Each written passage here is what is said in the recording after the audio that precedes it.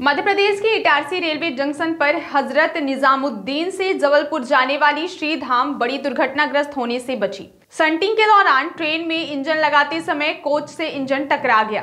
Train बड़े हादसे का शिकार होते होते बची। स्थानीय रेलवे के अधिकारियों द्वारा ट्रेन से क्षतिग्रस्त कोच को हटाया गया।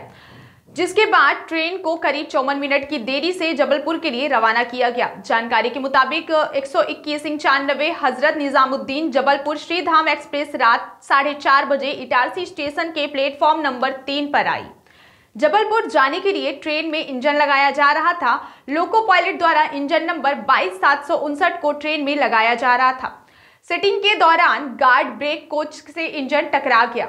सूचना पर संबंधित विभाग के स्टाफ मौके पर पहुँचे। क्षतिग्रस्त गार्ड ब्रेक को ट्रेन से अलग कर सटल साइडिंग में प्लेस किया। सुबह करीब पाँच बजकर अड़तीस मिनट पर ट्रेन जबलपुर के लिए रवाना हुई। रेलवे अधिकारी इस बड़ी लापरवाही की जाँच में जुटे हैं। यहाँ भी डैमेज है? यही तो डैमेज है सर हाँ यही बना लो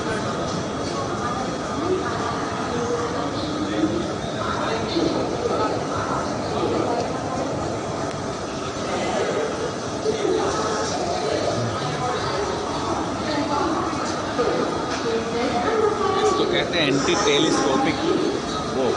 पहुँच। सर्व सुविधा युक्त नेशनल हॉस्पिटल समान तिराहा रीवा में। अब कैंसर का सफल उपचार और ऑपरेशन की सुविधा उपलब्ध है।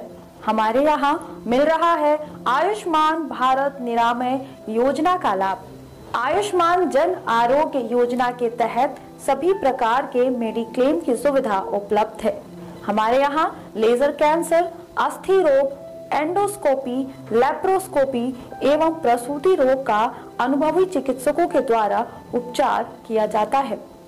कैंसर के इलाज एवं ऑपरेशन अब के नेशनल अस्पताल में उपलब्ध है।